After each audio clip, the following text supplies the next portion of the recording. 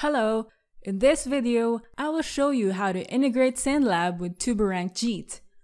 What social syndication will do for you in this integration is that it will allow you to quickly rank your videos in the first page of Google from your multiple blogging sites associated in your SyndLab.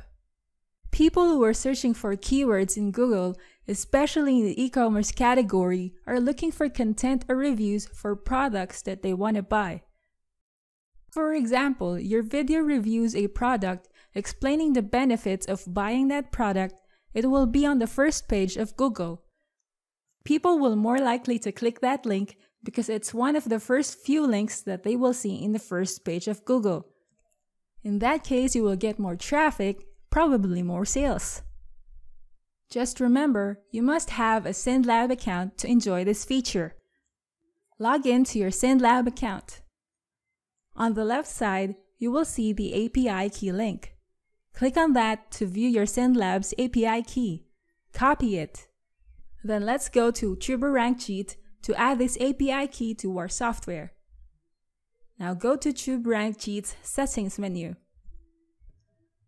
Click the third-party integration button. In this field, you may paste your API key and click the Save button. Now you have successfully integrated your SyndLab account to your TubeRank Jeet. Let's try removing it so you can see the difference. When you have no API key saved here, the SyndLab section will not be seen under the Optimize menu. Let's paste it again. In the section SyndLab, you will be able to view every single and group accounts that you have created in your SyndLab account. You have to set this up from there. Remember that you may only add accounts that you have made from your blogging sites. Now let's view per account. When we click on the single account, we are given a drop-down list in the account field. These are all the individual blogging service accounts that the user added in the SyndLab account. From the accounts group, it will show us a drop-down list of all the group accounts that a user has created grouping together multiple accounts in a SyndLab account. So as creating a one-click single syndication for those multiple accounts. When you optimize your video, you can syndicate it using this button. Now let's show a comparison of the accounts shown from TubeRank Jeet with the accounts in the SyndLab account. So here are the accounts from the TubeRank Jeet and here we can view the accounts from SyndLab. From the group's account, there are two group lists here. Let's compare it on SyndLab.